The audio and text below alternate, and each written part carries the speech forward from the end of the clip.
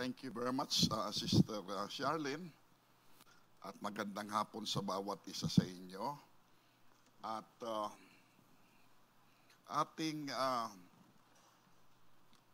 nais ipaalala sa bawat isa nasa ating uh, uh, communion sa darating na April 3, we will start the uh, anniversary month with a communion sa first Sunday. And uh, we have to limit the, the membership na kung saan ay uh, siguro ay we would uh, like to narrow down to 150.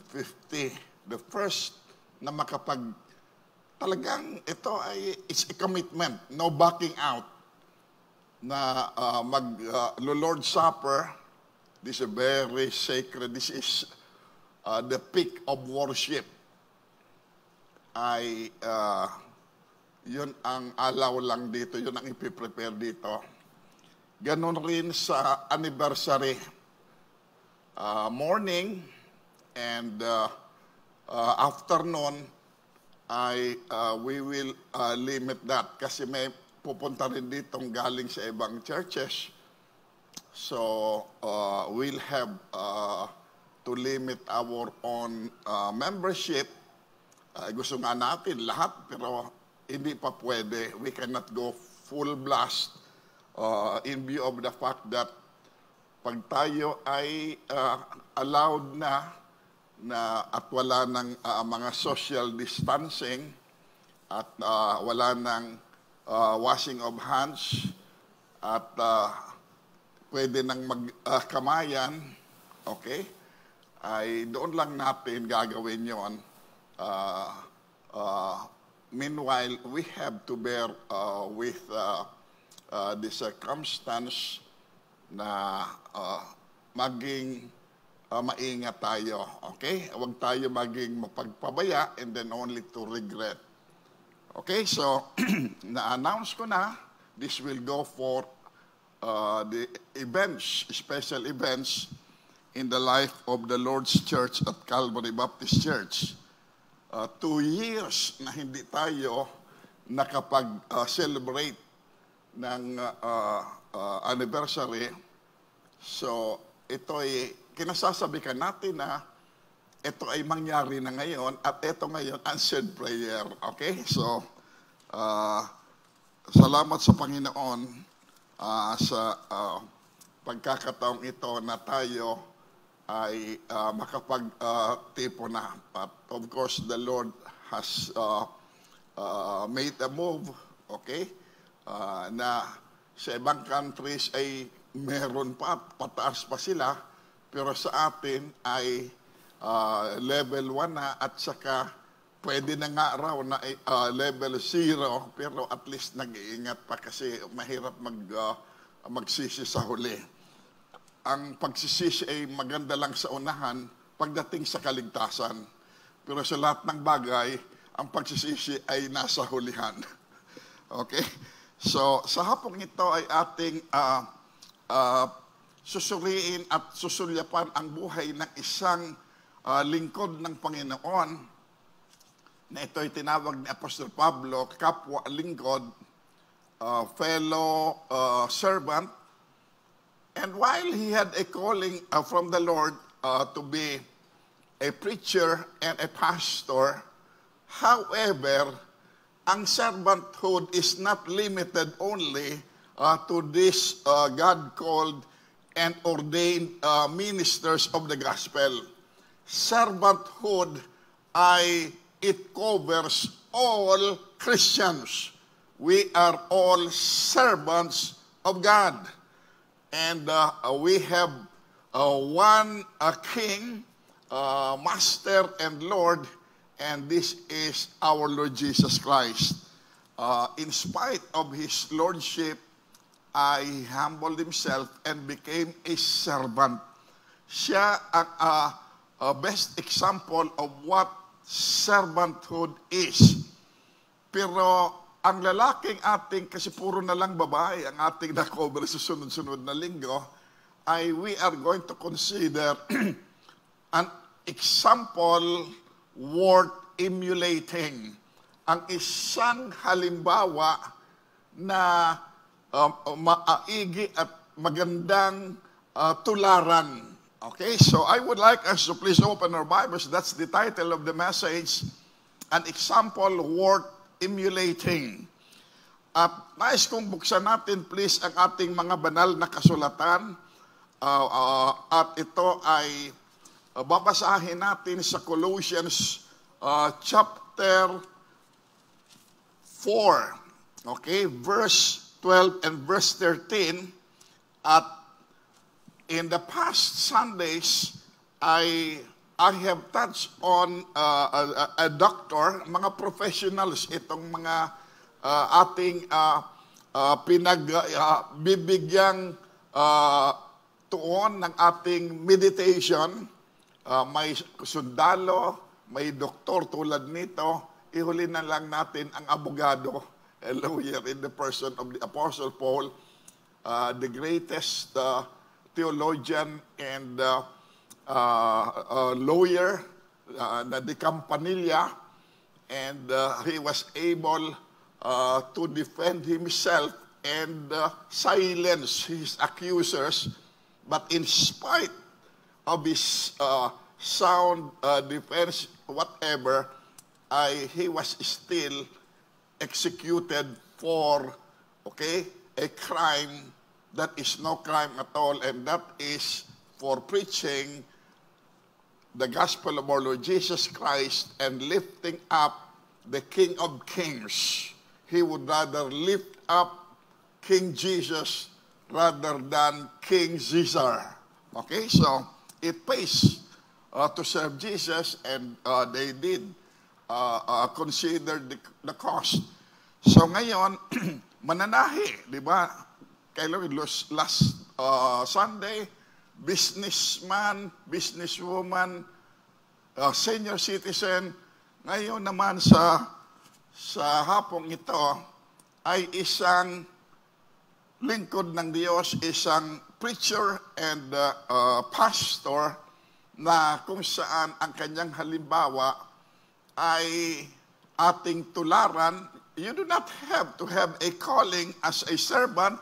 Automatic yon. It comes uh, with your uh, second birth that you have uh, become a uh, child of God uh, or a son of God and automatic a servant of God, no longer a servant of sin. Sa hapong ito, I would like us to open our Bibles to the book of Colossians chapter 4, verse 12 and verse uh, 13. Okay? Magkalapit sila uh, ni Dr. Luke na pinarangalan ng Panginoon. Ano ba ang dapat na masilip natin sa buhay ng lalaking ito? Nag, ito ay talagang uh, uh, pinuri ni Apostle Paul at uh, magandang huwaran upang atin namang tularan, you do not have to be a preacher or to be a pastor. As a Christian, this is a good model. Okay, so we are going to be in a uh, modeling uh, session na susuriin natin ang lalaking ito. Chapter 4, verse 12 and verse 13. Sabi dito, Epaphras, who is one of you, a servant of Christ, saluteth you, always laboring fervently for you in prayers, that ye may stand perfect and complete in all the will of God. For I bear him record that he hath a great zeal for you and them that are in Laodicea and them in Hierapolis. In other words, church planter rin pala ito. Tatlong gawain ang kanyang hinahawakan. Okay, so may the Lord uh, impress the truth that uh, we are about to learn and if not discover so that sa ating mga uh, pagiging uh, lingkod at pagiging mga manggagawa ng Panginoon ay we would excel for God's glory. Okay?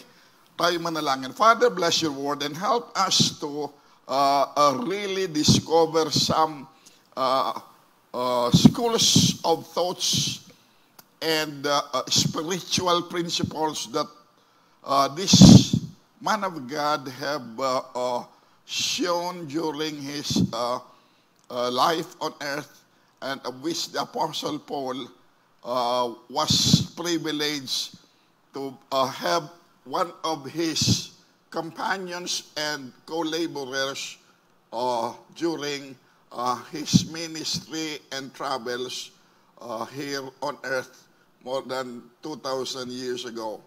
We are thankful for the Lord and those that have followed his footsteps, uh, like these men and women that uh, are recorded in scriptures.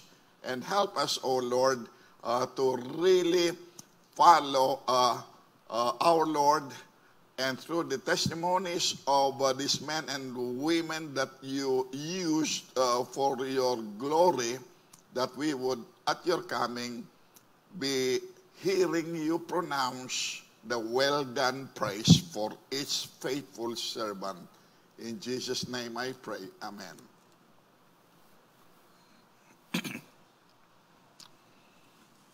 An example worth emulating si ito.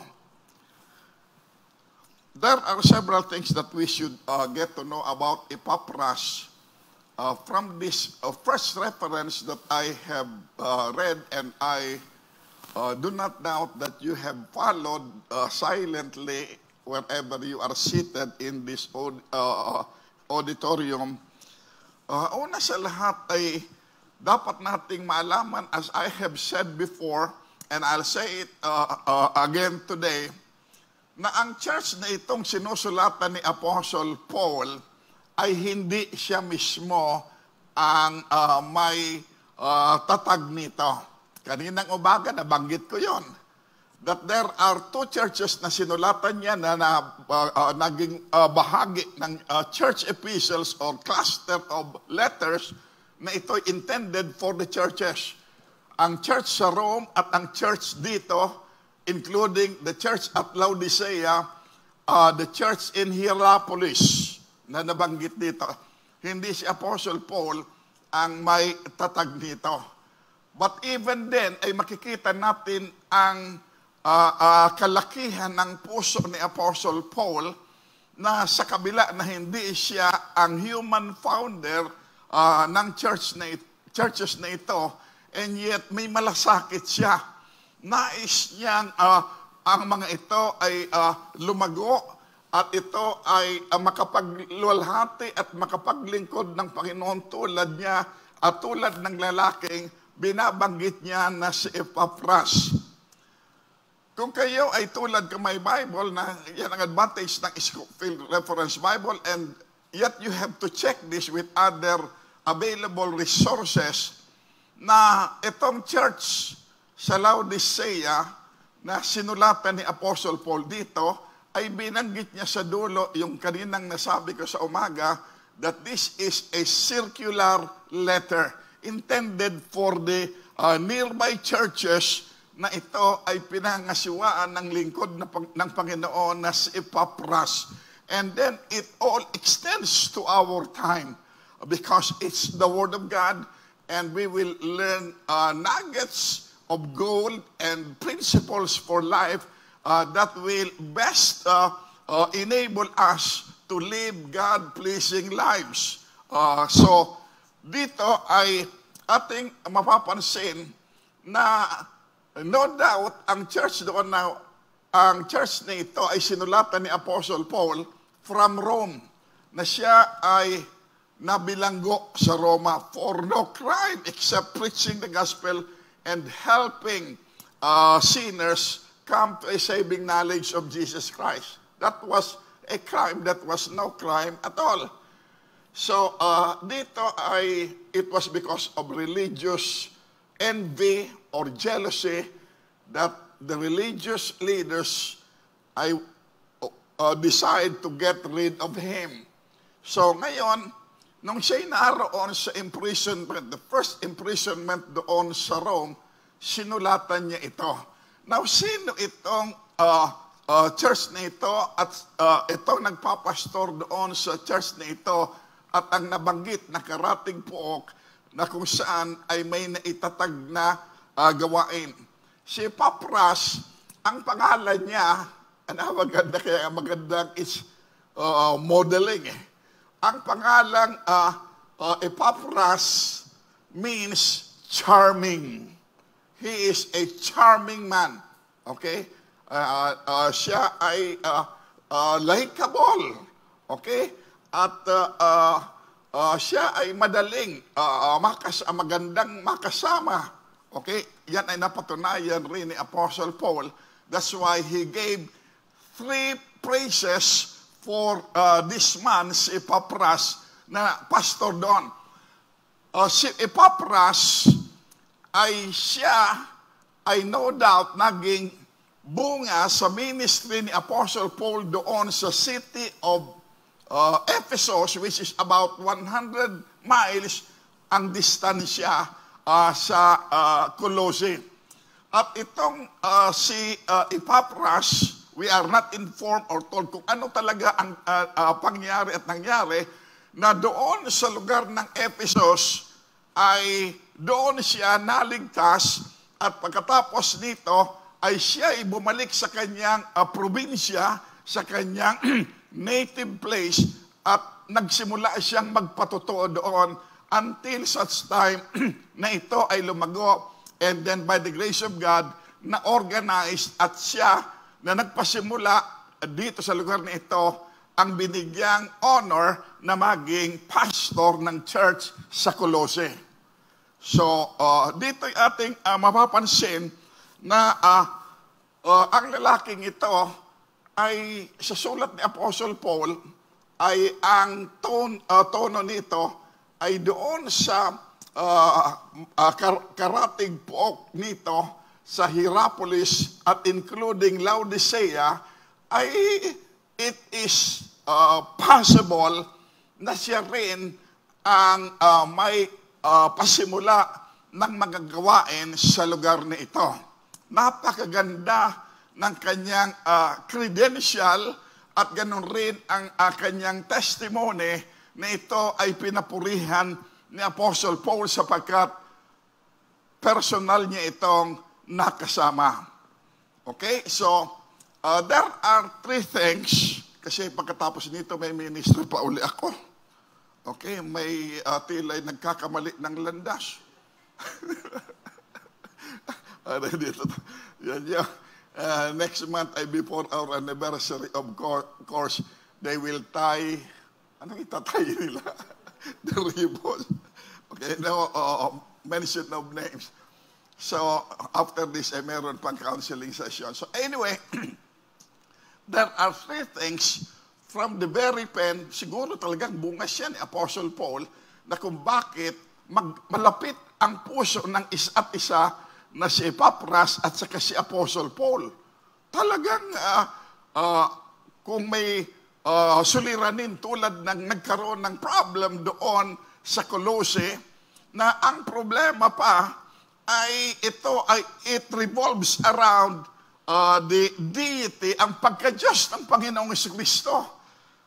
And uh, uh, so, when the Apostle Paul wrote this letter, ang tono ng kanyang pagsulat dito ay it uh, actually uh, a re- rebuttal sa mga itinuturong uh, maling katuruan ng mga nagpapanggap na mga palsong mga ngaral na medyo nagkakaproblema doon.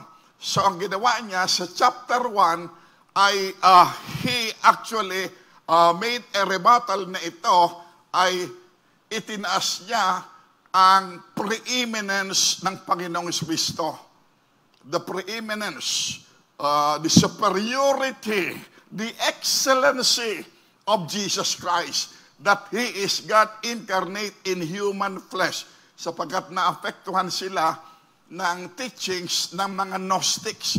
There are uh, two uh, uh, groups of uh, Gnostics. Uh, ang una ay uh, uh, Cyrincians at ang isa pa dito ay uh, nagtuturo na si Kristo ay hindi talaga almighty.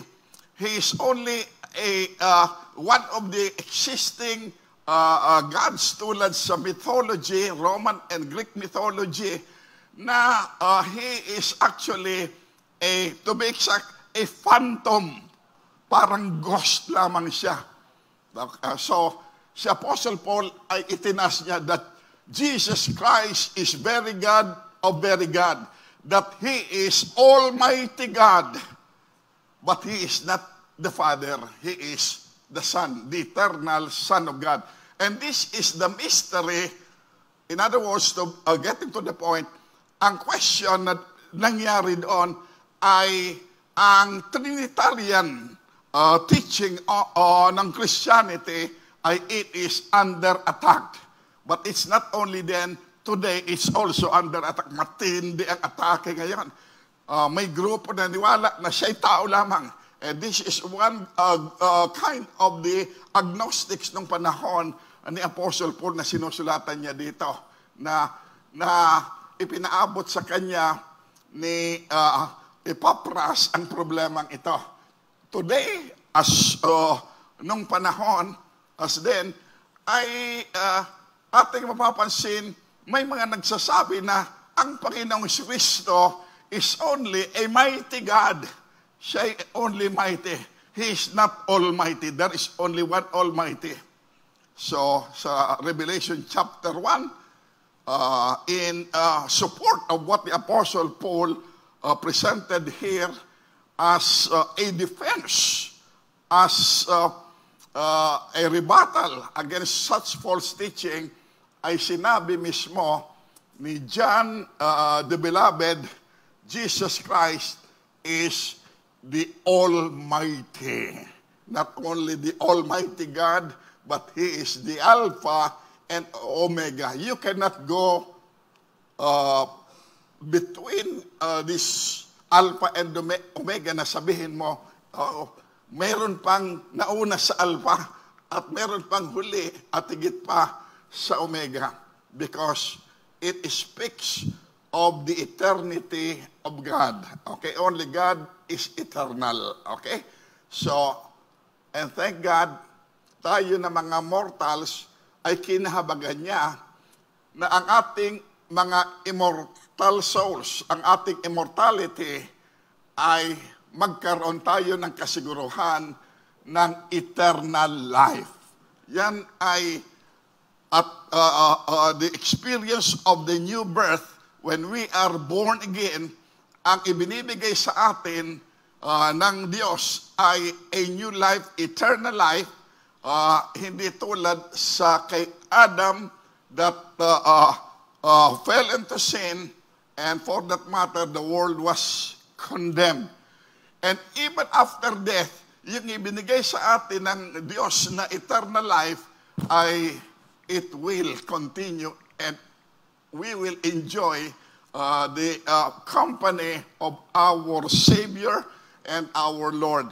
Whereas, yung mga taong hindi ligtas, minsan lamang sila isinilang physical birth alone ay uh, they inherited the Adamic nature. When they die, please do not get me wrong, nor be uh, uh, uh, uh, uh, influenced by others that when an unsaved dies, ay doon niya makikita ang eternal life. Wala silang eternal life. They will have eternal existence. There is a vast of difference between existence and eternal life. Because yung soul nila ay immortal. Okay? So they will continue to exist. Okay, so dito ay, there are three things na ating matutuklasan na ito'y pinarangalan o pinapurihan ni Apostle Paul. Uh, kaya nga, nasasabi kong ito ay uh, karapat dapat na uh, tularan at magandang halimbawa. Okay? Whether you're a preacher, a pastor, or you are uh, a teacher, or whatever, as long as you are a, a Christian, ang tatlong bagay na ito ay nais ni Apostle Paul na ito ay ating uh, makamtan uh, ang principles na ito. First of all, uh, kasi dito, sa sulat ni Apostle Paul sa mga taga-Colose in defense of uh, the preeminence of the Lord and as a show of love and support for the ministry of this man at sa problema ay inilapit niya kay Apostle Paul. Si Apostle Paul serves as a pastor to pastors. And this is a uh, uh, truth uh, na dito sa ibabaw ng sanglibutan sa United States ay talagang napakaganda ng kanyang naiwanang ligaseya. Uh, itong si Warren Wiersbe, uh, a Baptist pastor doon sa Calvary Baptist Church, Covington, Covington Kentucky, and uh, other places until he uh, became, uh, for many years, director ng back of uh, the Bible, and he was engaged in writing, okay? Because matanda na siya, and he is now in glory with the Lord. Nung panahon niya, yung mga pastors ay sa kanya tumatakbo. He is a pastor to pastors. Kailangan natin, ako nga, gusto kong may tinatakbo ang pastor. Kaya nga lang dahil mga antics na, wala na sila eh. Kaya sa Panginoon na lang tatakbo. wala na yung mga kasamahan na unat kasamahan namin mga pastor. So, uh, I will not, kung ako may problema, I will not uh, go and approach yung mga novice, yung mga bagito. Dapat pumunta ka sa talagang battle scarred na, na talagang dumaan na, dumaan na sa uh, spiritual warfare at battles ng ministry at buhay kristyano.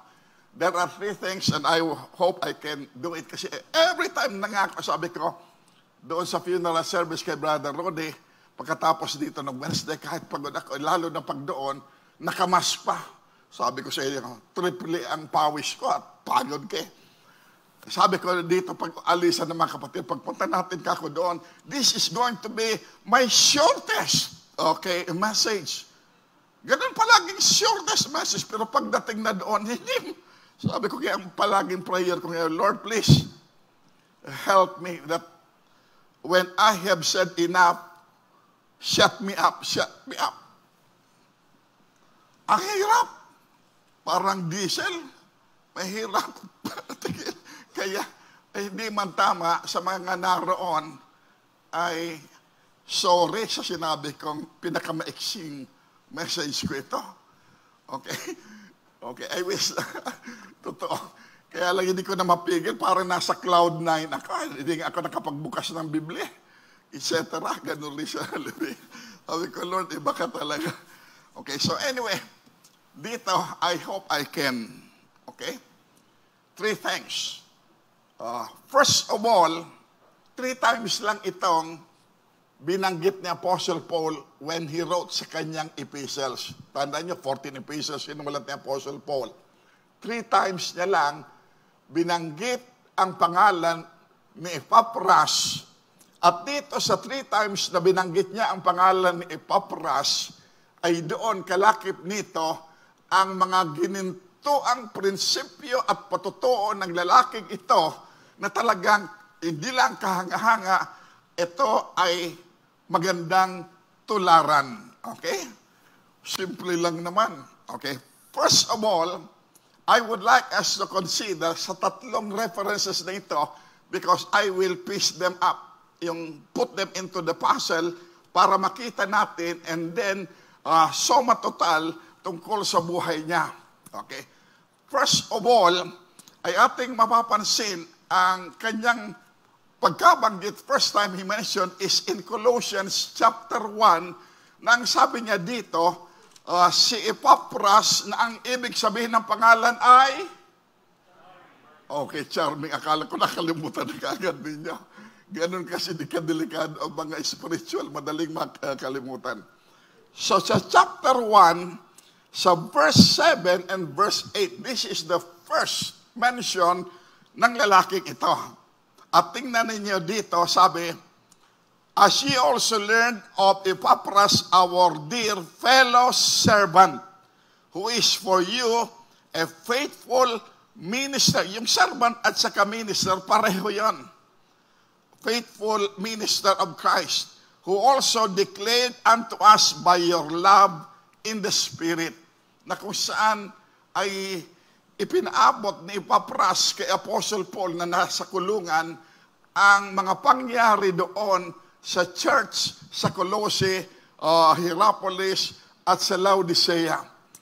At one thing admirable sa kanya ay hindi ang mga kasiraang mga balita uh, na nangyari sa churches ang kanyang ipinapaabot kay Apostle Paul. Ang dinala niyang uh, balita ay kung saan ang mga magagandang mga uh, pangyayari at katotohanan. In other words, he had a positive outlook. No matter what the uh, uh, problems were, I, he looked beyond the problems. He looked to the Lord. Kaya maganda ang uh, kanyang uh, gina, ginagawa. Unlike other pastors, minsan kasama ako. Pero I have learned my lessons well and good na ibang pastor ay talagang hindi lamang sasabunin niya. At minsan kahit uh, sa isang uh, fellowship o isang uh, camp gatherings ay pupunta siya doon para hiyain yung sa niya, kanyang uh, uh, church. That's that's not the right thing to do. Hindi yun ginawa. He was very aware of helping these people. Alam niya may problema. Ayun na yung problema. Tinutulungan niya makarao sa problema. Hindi may problema, ay dinadagdagan mo pa ng problema. Positive outlook meron ito.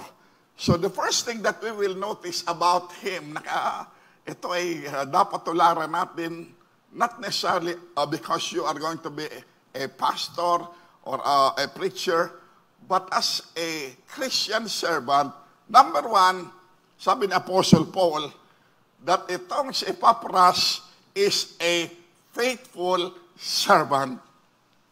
Alam niyo, that is what matters most to God. When Jesus uh, comes again, ay yan ang issue.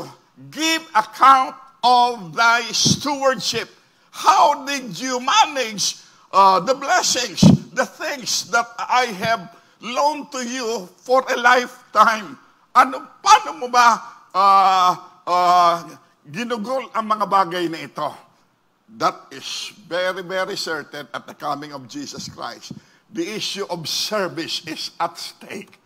And uh, let's not forget that your works, your good works, it counts a lot. It's a result of faithfulness. Hindi yung nagpapa-impress ka na, kumikilos siya. Kunwari, naglilingkod, etc. But deep down in your heart, you have a personal motive or interest na hindi nakikita. But hindi ito lihim sa Panginoon. Whatever we do, do it all for the glory of God. That's the uh, thing that matters. So dito sabi niya, sa chapter 1 verse 7, as she also learned of, of Epaphras, our dear fellow servant, who is for you a faithful minister of Christ. He is a faithful servant of our Lord Jesus Christ. Yung salitang fellow, dito ay ilang beses niyang uh, ginamit ito kalakip ng paparangal niya dito kay Papras.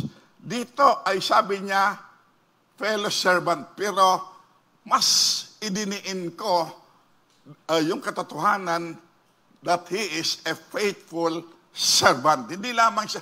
Ang fellow, ay alam natin, uh, di ba, hindi lang naman ito totoo sa uh, wika ni Apostle Paul. Three, uh, several times niya ginamit dito na sabi niya, that Epaphras is my fellow servant.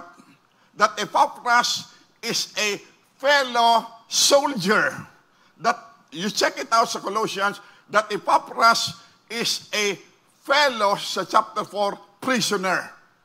So, palagi niyang sinasabi ito, fellow. For his a jolly good fellow. Fellow. Very impressive ang salitang fellow. Even among uh, sa mga doctors, ay meron silang mga fellows. at minsan nakakalaki pa ito doon sa mga attainments nila at uh, or achievements nila at doon sa mga ibinibigay nilang prescription, etc. Just what does it mean? Tingnan nyo, Tagalog, very simple pala. Okay, kapwa lingkod. Yung fellow, kapwa. Ang ibig sabihin nito ng fellow, kaya hindi ka nga pwede magkaroon ng fellowship kung hindi mo ka-fellows. Di ba? Alien yan kung hindi siya saved eh. Okay, fellow servant. Okay, fellow soldier. Uh, fellow prisoner. Yan ang uh, dapat na matuklasan natin sa buhay ng lalaking ito. Ang salitang fellow ay it speaks to us tulad sa ang araw-araw na uh, buhay natin we speak, uh, we speak of our fellow classmate, kapwa. Yung peer mo. Nako, ang ayoko doon, gusto ko yung peer, pero ayoko ng pressure. Minsan yung uh, kaibigan mo yung fellow mo ang nag-pressure uh, sa iyo. O kaya may circumstance na nagpe-pressure sa iyo. For example, you are supposed to submit okay, an assignment or whatever project ay kinakailangan gawin mo ito sa uh, uh, timetable sa itinakdang panahon na dapat matapos ito. At habang nalalapit na yung uh, termino na ito'y dapat gawin mo, isubmit mo, ay lalo kang napipresyo. Sa ministry, ganun matindi talaga eh. Ganun sa ministry. Sobra. So it means an associate. So associate, kasamahan. Uh, at sa wikang uh, banyaga na ito ay ngayon nangyari sa uh, Europe, uh, yung mga countries na ito, ay ang tawag nila sa fellows nila ay comrade. Comrade. More or less, ito ay uh, attached sa ibang uh, ideology. Okay? Comrade. Okay? Uh, so, dito ay ang ibig sabihin nito ay madalas si Brother Danny doon sa Australia, uh, popular address ito nila pag ikaw ay kaklose na kasama nila, uh, peer or uh, kaibigan nila, etc. Tawag nila ay mate. Mate. Hi, mate! Palagi niya ako binabati noon ng mate. Kulang na lang sagutin ko, checkmate. okay, so naintindihan na natin na sabi niya, a fellow servant. Today, can we ever assert that when we are in church, we are fellow servants of God? Nobody is higher than anybody. And even the man behind the pulpit is only a leader among equal. Your vote is good as mine. So dito sa lordship, I, you have no voice that is foreign.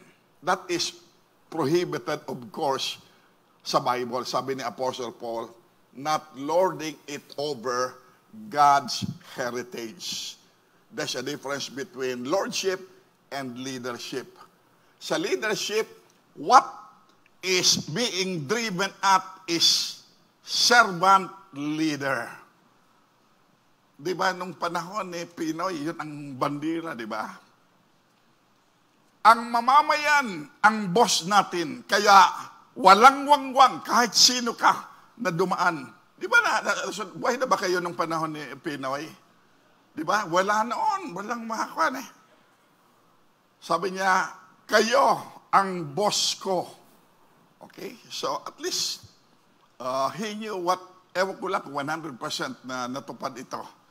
Kasi it's still possible susceptible naman ang mga tao sa temptation, na yung mga subordinates mo, yung mga nakapaligid sa iyo, ay may go contrary uh, sa iyong principle or ideal na isinusulong.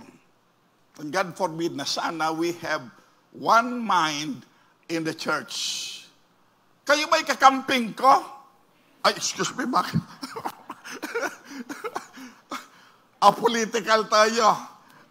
Kung sino, Sino ang uh, you deem uh, qualified and God helping you, hindi kayo magsisisi uh, sa six years. Kaya matindi ang panalangin ko.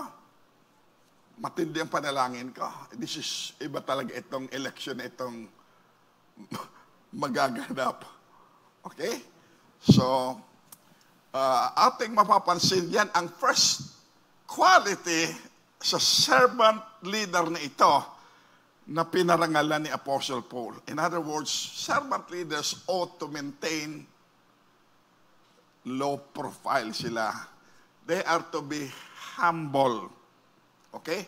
They are to follow the example of Jesus Christ na sinundan ni Apostle Paul at nakita niya ang spirit na ito kay Epapras.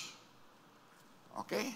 Second, second, notice with me please, not only is he a faithful servant, okay, a fellow servant, number two, ay ating uh, mapapansin that he is also, okay, a fellow servant. So chapter 1, verse 7 and verse 2, or verse 8.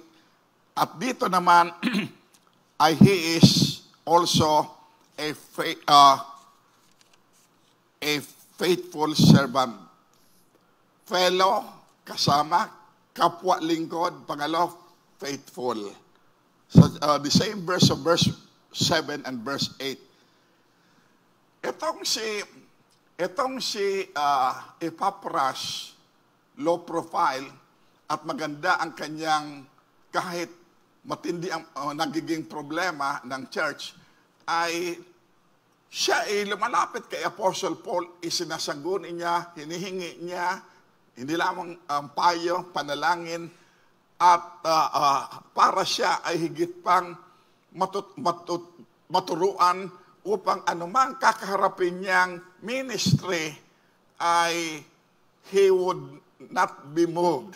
Na tulad ni Apostle Paul sa closing ng kanyang ministry na nagpaalam na siya sa mga elders doon sa Miletos na pinatawag niya sa kanyang pamamaalam. Ang sabi niya, none of, kasi binabawalan siya, huwag ka na pumunta sa Jerusalem sapagkat that will be the end of your journey. That will be the end of your life. Hindi na tayo magkikita-kita. Totoo yun, sabi ni Apostle Paul. But then he said in Acts chapter 20, verse 21, uh, if I can uh, remember the text, ang sabi niya, But none of these things move me.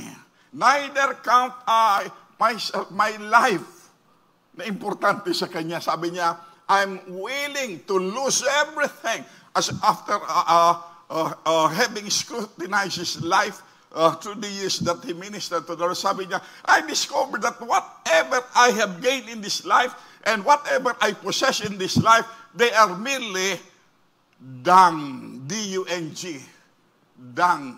Sabihin na natin yan, medyo refined pa, garbage. Pero yung dung na tinutukoy niya dito ay doon sa field, yung mga kalabaw, yung mga baka, pagpupo nito, yun ang uh, landmine na sinasabi niya. Di ba pag nakatapak ka dito? At least, Consuelo de Bobo, na hindi ito tulad uh, ng uh, pupo ng mga ibang hayop. Kasi ito ay galing sa grass. Di ba? Pero ganon rin, malalaki yon. Okay. Oh, so, dito ating uh, mapapansin, neither count I uh, my life dear unto myself that I might finish my course which I have received of the Lord Jesus Christ. Talagang napakaganda ng paninindigan ni Apostle Paul na ngayon ay nakikita niya ito sa buhay ni Papras na mas mahalaga ang Panginoon kaysa sariling buhay niya. Mahirap ito. Ang hirap. Yan ang uh, trust ng salita ni Apostle Paul sa Galatians 2.20. It's easier recited than practiced. Alam natin nyo, I am crucified with Christ. Nevertheless, I live, I live yet not I, but Christ liveth in me. And the life which I now live in the flesh, in the body, I live by my own faith and flesh. Hindi. I live by the faith of the Son of God who loved me and gave himself for me. He had a very, very uh, objective view of life. Nasabi niya, he was looking forward and he wanted to be very sure that whatever he may have achieved in this life ay sa dulo ay is not a loss, but it's gain. Kaya nga, ang investments natin dito sa ibabaw ng sanglibutan ay medyo may insecurities na nangyayari ngayon sa, uh, sa economy. And soon we will be losing yung cash. A cashless society will be established. And lahat na yan points to the future when the Antichrist appears. But thank God, I'll not be around when he surfaces. I'll be up there. So, uh, dito ating uh, mapapansin na sabi niya, faithful ito. Kung bakit hindi niya uh, dinadala ang mga uh, makasasama sa church. But uh, ito ay uh, uh, kanyang tinitingnan na higit pa doon. He is not uh, actually uh, so bothered concerned about the problems, but he knew that Jesus, our God, is a problem solver. Minsan, hindi na natin makita, laki-laki ng problema ko. Ang tanong, kaya kayang lutasin yon ng Panginoon? Is your problem greater than your God? I don't think so. God is greater than all my problems combined. It's just a matter of trusting Him. When God steps in, He intervenes, you will be amazed.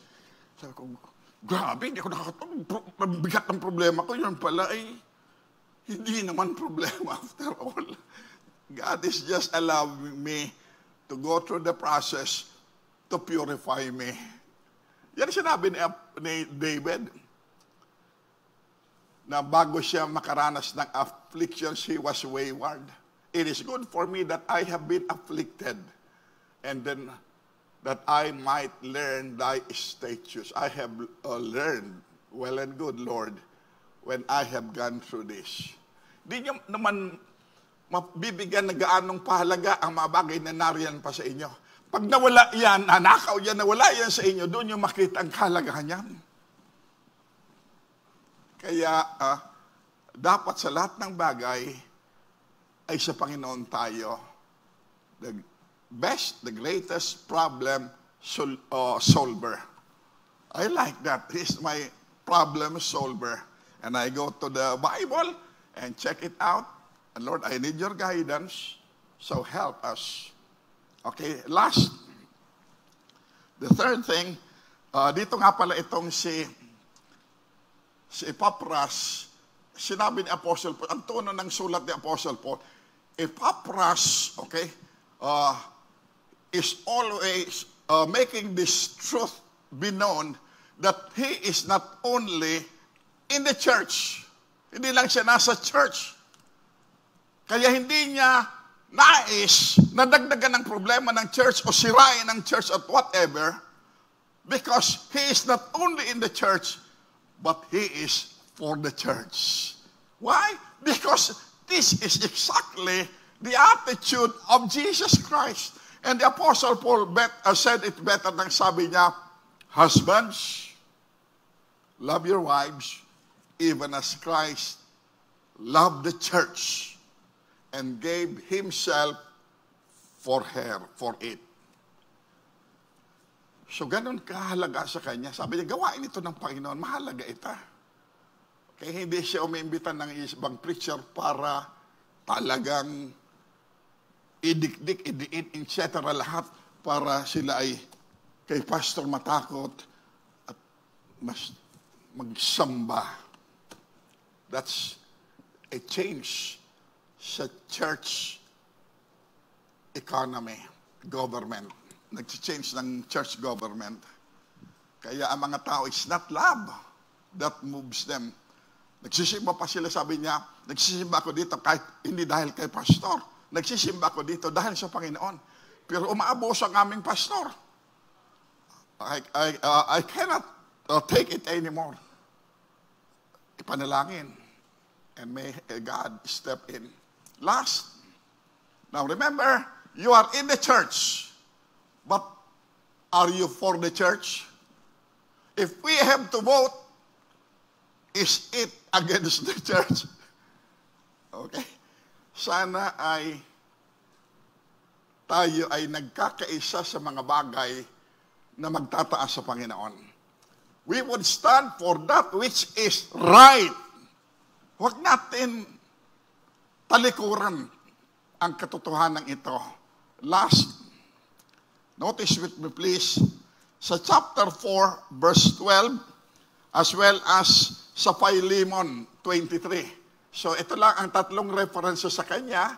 So ating mapapansin ang third uh, example na pinapurihan ni Apostle Paul and no doubt sa harap rin ng Panginoon when he went home to be with the Lord ay number three, that he is sa, prob, uh, sa, prob, sa uh, Colossians chapter 4 uh, verse uli, sa verse 12 suriin natin ito please and this is what help him most para mangyari ang nangyari sa kanyang buhay. At itong mga characteristics na ito, uh, itong mga uh, behaviors niyang ito ay ito ay uh, mangyari sa buhay niya. And this is because he is a servant who possesses a fervent spirit. Tingnan niyo please of Colossians chapter 4, verse 12. Epaphras, who is one of you, a servant of Christ, saluteth you or greeteth you, always laboring fervently for you in prayers, that ye may stand perfect and complete in all the will of God. So, ito ay pinarangalan ni Apostle Paul. What is zeal this brother possesses? fervent servant. What does it mean to be fervent? Sinabi rin ito ni James. The effectual, fervent prayer of a righteous man availeth much. It is a prayer that is on fire. Red hot na panalangin. Yan ang sinabi niya dito ito ay he excelled. Best of all sa ministry niya is because he is a servant that is fervent in prayer. Tingnan niyo ang tatlong katotohanan sa panalangin dito ni uh, Epaphras. Sabi ni Apostle Paul, Epaphras, is one of you, a servant of Christ, saluteth you always. In other words, ang kanyang pag-ala, pag-ala, uh, remember, pag-alala sa kanyang gawain tuwing nang siya pumupunta kay Apostle Paul at makir, uh, damayan si Apostle Paul, especially when he is in solitary moments, sapagkat ang mga kasama niya ay they have to go their own ways na ito'y pinapahayo ni Apostle Paul upang suriin yung mga gawain kung ano na ang nangyayari. And that solitary moment that he is alone, ay naroon siya sa Philemon chapter, a ah, chapter, sa Philemon 23. Tingnan natin please. Kaya sinabi dito ni Apostle Paul, after Titus is a pastoral epistle, nang sabi niya dito, Philemon 23, verse 23, nang sabi niya dito, There salute the Epaphras, my fellow prisoner in Christ Jesus bakit? Sapagkat sinasamahan. Marunong siyang dumamay, makisama. At sa mga panlulumbay, kalungkutan ni Apostle Paul, lalo na kung siya'y nag-iisa, he would sacrifice himself at oras niya at siya'y pumupunta doon upang makatabi, makausap at matuto sa mga pangaral ni Apostle Paul. Wow! What a great desire! At natutunan niya rin ito, I am pretty sure, kay Apostle Paul na manalangin ng may fervency, red hot. Si Apostle Paul is both a theologian and when he prays, ang kanyang panalangin would shake the, uh, the event, the circumstance, because he believed in a great prayer, prayer answering God. Di ba? Claim natin ito. I believe not only as a saving God, but I believe in a prayer answering God. Pas ito tayo naglulok, nagmumukmuk, etc. lahat na para tayo ay we feel we are an orphan, we are abandoned by God. Never nangyari kay Apostle Paul, even in his most trying times and uh, his death uh, drawing close and uh, he's about to be executed, ay he was at peace. He was composed. At ganun rin, fervent, always. Sinabi ni Apostle, one of the uh, duties of the Christian, which is not only an obligation, but it should be considered as a great privilege that a sinner saved by grace can talk with God. What a uh, an open line of uh, communion and communication. Dapat kilalanin natin ito. Sabi niya dito, He prayeth for you always. Yan ang greatest labor. Mahi, kala natin, nadali manalangin. Hindi ganon. Yun ang pinag-aaralan ko ngayon at that's why I am uh, trying to get as many resources at mga experiences ng mga uh, old-timers, mga ancient Christians na ang kanilang mga panalangin may ihinit.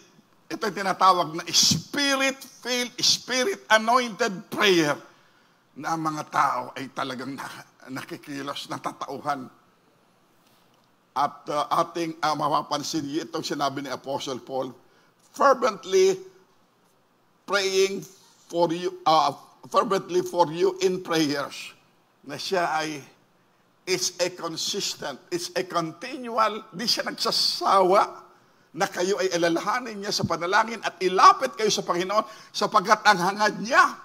At sinabi dito ni Apostle Paul, that you would stand perfect na kayo ay maging hindi lamang mga matatatag, kundi stable kayo. At complete, matured kayo. Maging matured. Di ba, that should be our aspiration that we would, we would grow into maturity. Hindi tayo for the rest of our lives spiritual babies na too self-centered at selfish at maliit na bagay lang na-offend ako. Kaya yun ang favorite uh, word natin sa ating personal uh, dictionary. Na-offend ako.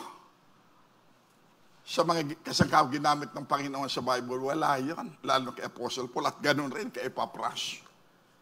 At ang sabi dito, complete in all the will of God. He knew God's will for his life. Do you? It's the greatest discovery of your life when you have found God's will for your lives. There will be no regrets at all. You will be all praises to God. Ako, ito ang will ng Panginoon. Ayawin ko man. Pero this is God's will for me. At the first time I uh, preach, I talagang sabi ko, Lord, hindi ako dyan. Takot na takot, takot. Ayun, ayoko, umiiwas ako. And then each one, na-bless ako, etc., etc. Sabi ko, Lord, is, is, is it it? So 53 years later, here I, I am, still here, sounding out the truth. May God help each one of us. Ano man ang will ng Panginoon sa inyo, as long as in that particular occupation, in your life ay hindi kayo nawawala sa katotohanan that you are in partnership with God. It's not a sole proprietorship. Okay? You are actually God's entrusted partner with all such things you have. One day soon, while still alive, you may lose them. Only God knows. Because kaya ng Panginoon baguhin ang takbo ng ating sanglibutan. The economy, baguhin niya, and everything will be at a great loss. Tulad ng nangyari sa Amerika. And that's one way ng tao ay maging subservient to whoever controls the bag. Whoever controls the bag controls the people. All these things ay palapit na doon sa panahong yon. Ang tanging pag-asa sa panahon natin, the only remaining cure for all ills in the government, all ills in religion, all ills in the economy, and in all ills sa social relationships ng sanglibutan is none other than Jesus Christ and His blood alone. He can reverse. You can, in the midst of what is happening, you can remain calm and you will not be moved because, Lord, exactly as you said, it's happening. Hasten your coming, Lord. Hasten your return. Araw-araw yun ang panalangin ko. And my prayer for each one of us that we would be ready at His coming. Father, we thank you for such an example that is worth emulating. And help us to cultivate these principles for life is good living, God glorifying principles. And Lord, thank you for the pen of the Apostle Paul. And thank you for this man whom he commended. And I do pray, Lord, that you would raise up many members in the church that would follow the footsteps of our Lord Jesus Christ. And thank you for everyone present here tonight and those that are with us online. And fill us with your spirit to overflowing. And we need you more than you need us because you can manage without us, but it would be very, very impossible that we can manage without you. Thank you for the privilege of sonship and being a member of the greatest royal family for all eternity, the family of God. Thank you for those that came and guide us safely to our respective homes and keep us keeping on and help us grow in grace and in the knowledge of Jesus Christ because this is our heart's desire as well as our heart's longing and yearning. Even so, come Lord Jesus. We are seeing that's all around.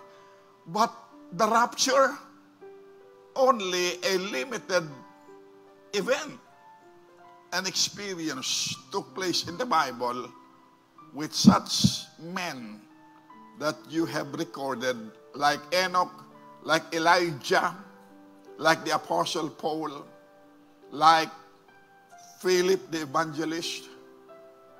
But in March, you promise that you will come again for us. And it's going to be such a blessed gathering in the presence who, of Him who loved us and gave Himself for us. Do supply whatever needs your people may have. And we know you will not fail them. And you are our great provider. And in your time, as always, things come to pass. And we can say with King David, I have been young, but now am old. I have never seen righteous forsaken, nor his seed begging bread. Thank you for being a loving Father to each one of us, your people, Lord. And thank you for the stewardship that you have seen fit to delegate to each one of us and help us to be faithful in the discharge of this stewardship and help us to be like minded with our Lord Jesus Christ and those heroes of the faith that followed his footsteps, including Apostle Paul and Epaphras. Help us grow in grace and the knowledge of Him who loved us and is coming back again. All because of grace and for your glory we pray in Jesus' name. To Him be praise, honor, and glory both now and forever. And the people of God says, Amen. God bless you. Okay, please remember the announcement 150, first 150 is special occasions na ito. Okay?